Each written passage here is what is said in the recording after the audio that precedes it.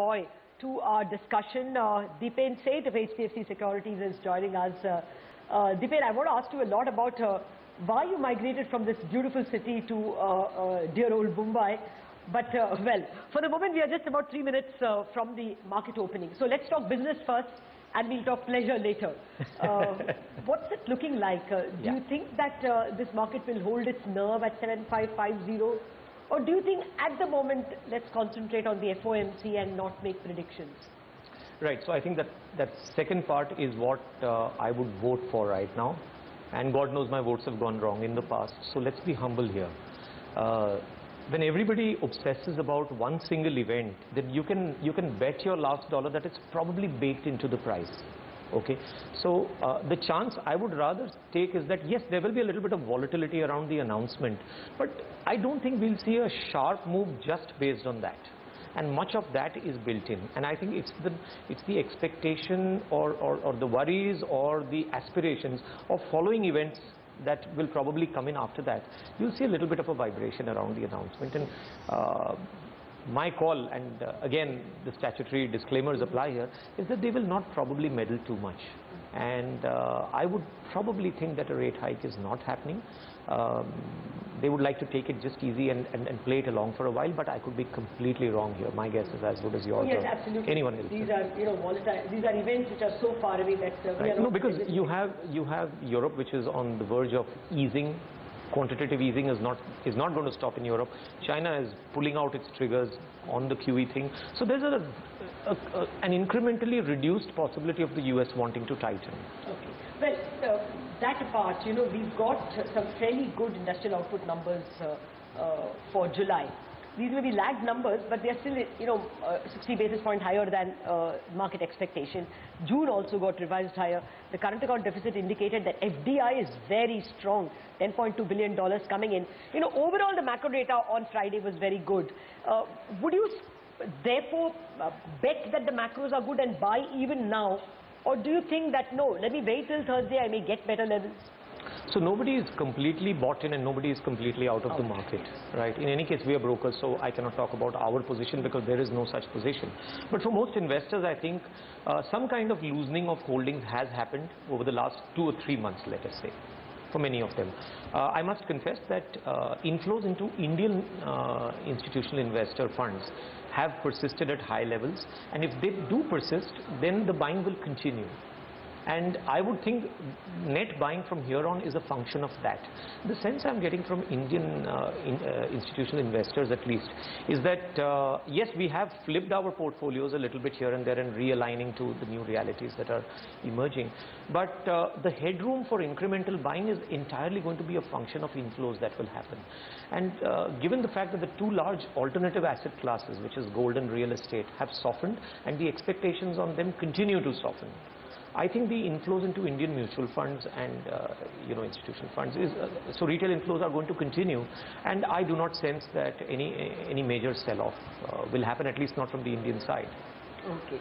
Well, uh, uh, uh, that of course uh, has been the counterfoil to Yes, uh, a- uh, FI outflows. Uh, I think are just about seconds away from uh, the uh, market opening itself, another 40 seconds to go. And it does look like the markets are at the moment charged enough to open the green. We have uh, the pre-opening at about uh, uh, 0.4% higher uh, at this juncture and uh, uh, the Nifty as well up about 0.3. So look, Okay, uh, uh, Dipen, yeah, you know, uh, just for uh, getting back into that conversation, uh, why, why Bombay? I mean, Calcutta is also bristling with a lot of financial activity. Uh, not good to trade from uh, uh, uh, Calcutta? So if you're an investor in the stock market, it doesn't matter whether you're in Kanyakumari or uh, Kolkata or Calcutta or Mumbai or Bombay or call it what you will. However, if uh, so, so the single reason for a steady outflow of talent from this city or state for that matter has been the lack of employment opportunity and the lack of meaningful career opportunities here. It's not that people do not migrate to Bombay from let's say a Madras or a Bangalore or a Delhi, but not certainly not in the numbers that they do from Calcutta. And the reason for that, of course, has been the steady economic decline of the city and indeed the state over the last few decades. So, uh, does it mean that I'm completely uh, despondent and I see no hope? Of course not. Uh, recent signs of uh, surprise, surprise, financial innovation are visible in the form of this shining new animal called Bandhan. And uh, as, as, as a non-resident Bengali, if I can say that, I'm so proud that uh, finally there is some thought and action leadership happening out of this uh, blessed city. I'm very proud of what's happening at Bandhan. Okay. Uh, things could be uh, a turning. Some of the early signs of the new government have been positive. They've been able to correct some of the fiscal uh, deficit issues as well. and I think some uh, capex and plan uh, expenditure. I was just reading their budget trends. Uh, certain uh, negative traits of uh, falling capex and falling plan uh, spending has been overturned uh, Okay. and reversed and we are beginning to see greater plan uh, expenses and greater capex uh, uh, uh, spending by the government as well. So probably that's positive. Uh, any Calcutta stocks that you like? So there's a whole lot of stocks uh, in the city and, and many of these stocks tell you the story of the city in many ways. So um, the embarrassing detail of course is that just two of the Nifty 50s belong to this city. Okay, and even these two companies are not things that are stories of the last 10, 20, 30 or 50 years for that matter. So it's Coal India and ITC and these are legacy businesses. And uh, Coal India has headquarters here because mining started off uh, in the eastern region. ITC because it used to be a British company which was uh, centered here which in, in what used to then be the second city of the British Empire. So, uh, but outside of Coal India and ITC, where I see tremendous long-term value, I must confess, for different reasons. Uh, there's a whole lot of multi-baggers here, and uh, whether it's Century Ply, whether it's Eveready, whether it's Shree Cement, uh, so you name it and uh, the city has it. It's not that there are no ideas here. It's just that the relative paucity of business opportunities has led to an outflow of capital. And I, I, I would say good luck to the new government and maybe they can, they, they can reverse this. Century Ply has had its zigzag. It had its uh, huge year in 2014 and then this year it has seen some correction from those levels. Uh, has it corrected to a point where you now like it more? So I would wait for clear evidence that uh, they, are able, to achieve uh, volume growth along with pricing power. And I think some of the, the housing construction and uh, building materials, so they're in the plyboards business. And uh, I, I think some of that is coming off because of, uh, you know, the lack of uh, consumption tempo in the country, uh, what, what we assumed after, let's say, Modi came to power and so on. So a little bit of housing cool-off has happened and uh, people are having second thoughts around there. Also, what kind of long-term multiple do you want to give to a business like this? But they are clearly brand leaders and I think they should get uh, rated for the kind of brand that they now own. Look at Emami, for example. They multiplied shareholder wealth over the years. And when was the last time an FMCG company out of Calcutta really became a national brand, an international brand? They sell over 100 crores in Russia, if memory serves me right. Sonia? Okay, Dipena, hi, good morning. Well, since you are talking about a lot of the Kolkata-based companies, uh, you know, we also have a list of companies that have given great returns. As you mentioned, Emami. There's also, you know, names like Bata that started off in Kolkata, names like Britannia, there's Tata Global Beverages, SKF. Uh, from this list of good quality mid-cap or non-index large-cap names, uh, where do you see further potential here on? So again, look at the tragedy. You've named Bata, you've named SKF, you've named Tata Global, and what else did you name? Britannia. Um, Britannia. So all these are companies which, which were part of the exodus of capital over the 70s and 80s and maybe even the 90s. And it's such a tragedy because talent has never been short in this uh, state or city. Opportunities have never been short. It's just that the environment for creating great businesses came under increasing stress over a period of time.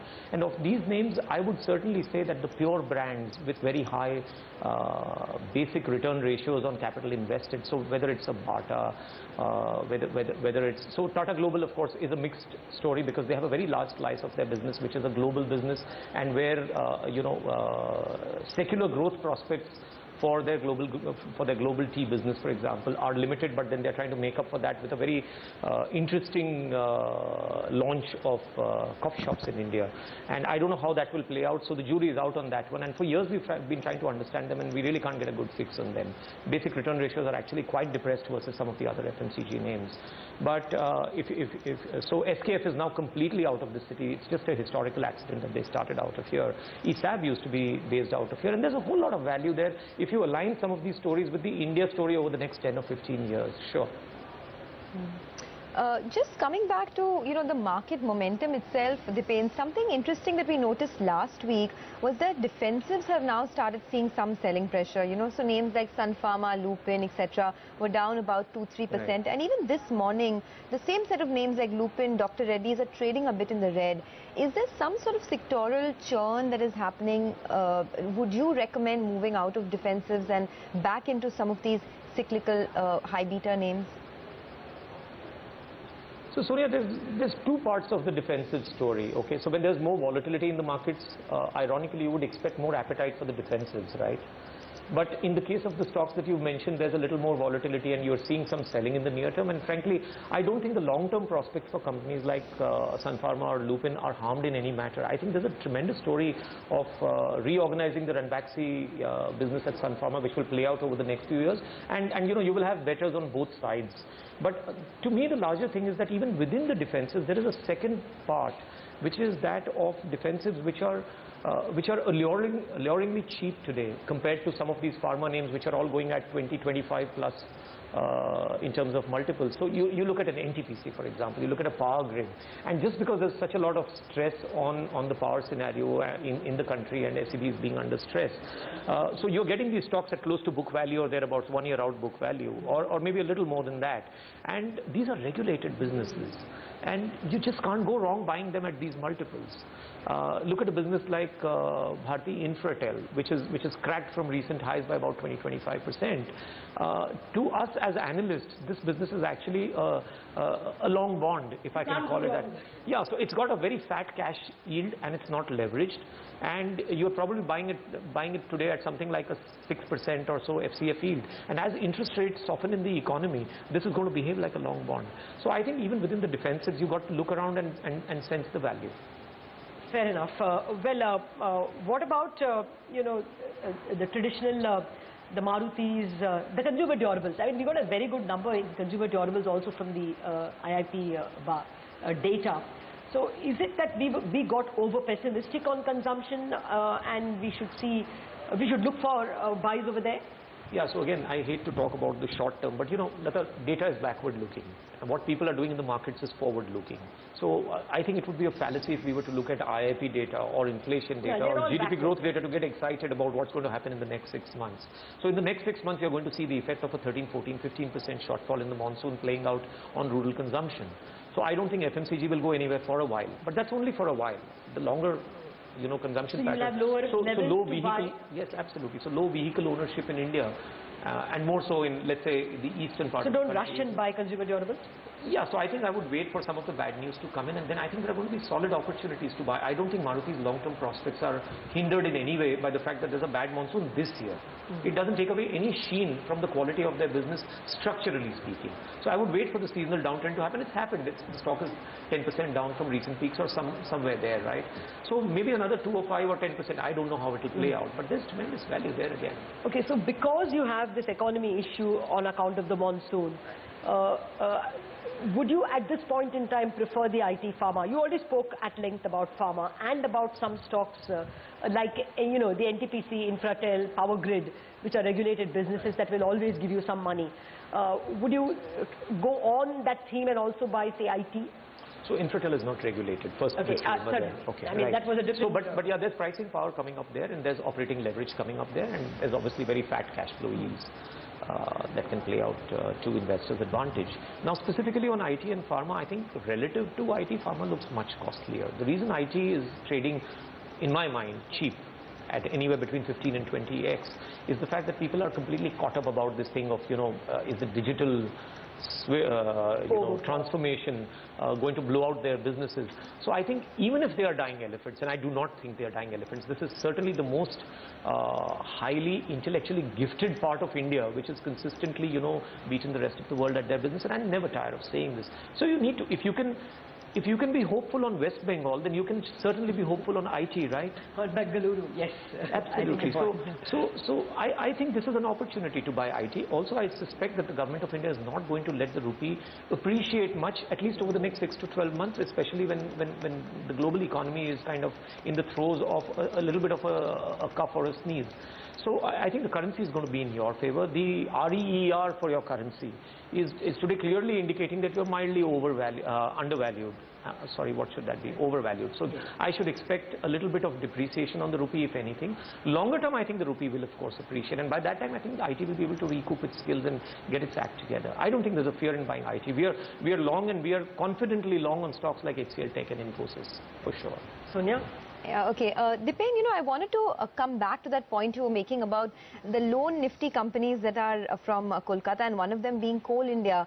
What's been happening with Coal India? Because it's fallen from 440 to 330 swiftly despite repeated comments coming in from the coal secretary that, you know, they'll manage to meet the coal uh, production target of 550 million tons by the end of the year.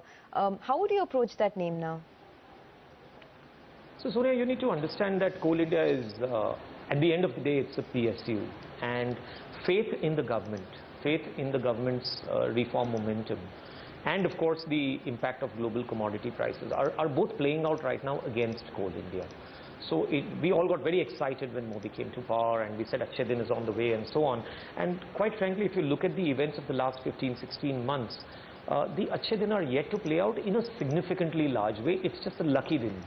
And again, this is also a repeat from my earlier conversations with you people, that it's, it's the global fall in, in, in commodity prices across the, across the spectrum that has worked tremendously to India's advantage. And be that as it may, so we, we remain constructive on India.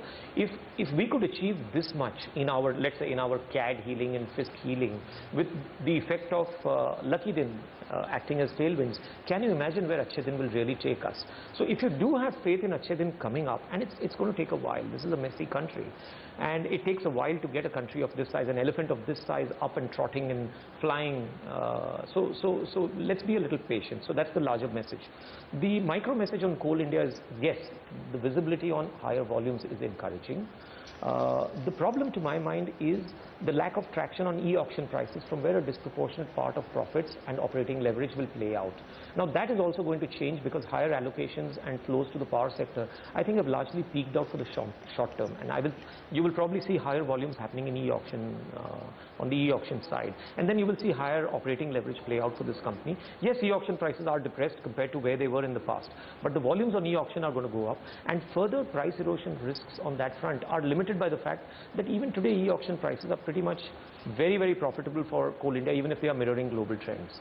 And, and even today, e-auction prices are lower than landed prices of coal. A lot of incremental e-auction sales are happening in inland areas where importing coal doesn't make sense. You don't So- expect this uh, discount problem to hit them.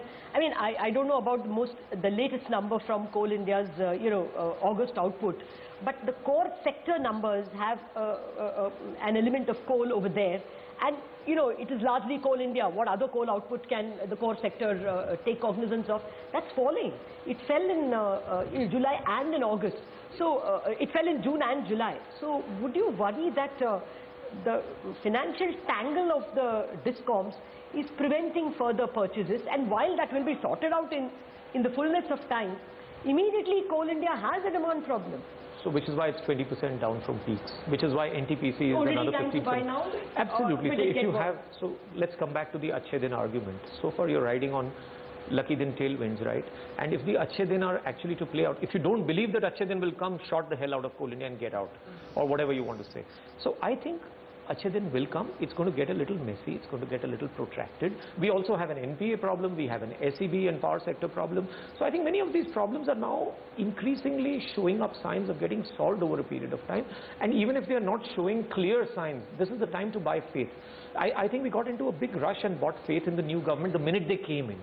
And, and now we've gone through a little bit of disillusionment. So this actually offers the longer term investor an opportunity to buy into the faith of this government. Uh, so whether it's NPA, so now, now so you, you see CanBank and BOB have new heads.